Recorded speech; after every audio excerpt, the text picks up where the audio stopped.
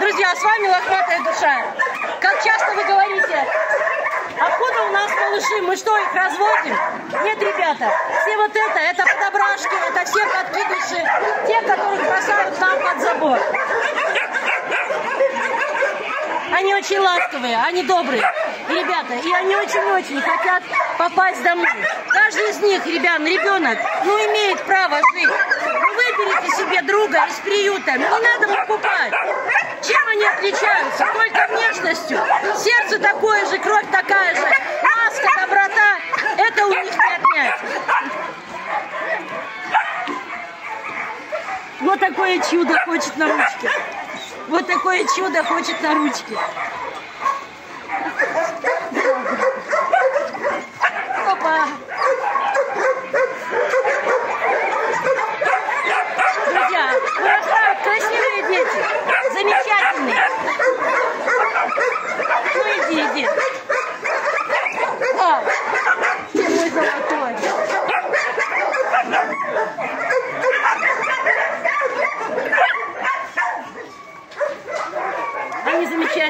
Они ласковые, они хорошие.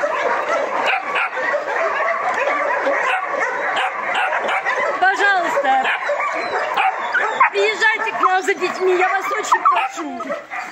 Ну ведь жалко, они только начали жить. Ребята, им нужна семья.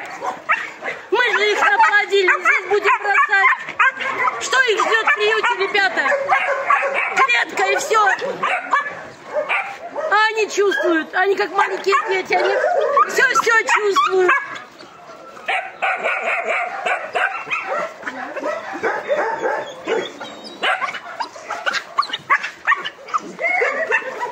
Я очень благодарна всем, кто нам помогает. Ребята, особое отношение это к малышам.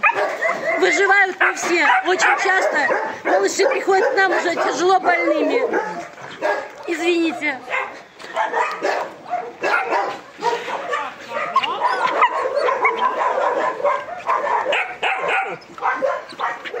Я прошу вас помощи для лохматой души, для самых маленьких. Нам нужен корм. Нам нужно железо, чтобы закрыть эту крышу. Скоро зима, ребята.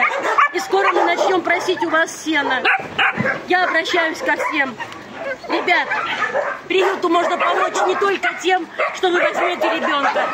Приюту можно помочь чем угодно. Любыми средствами, любой помощью.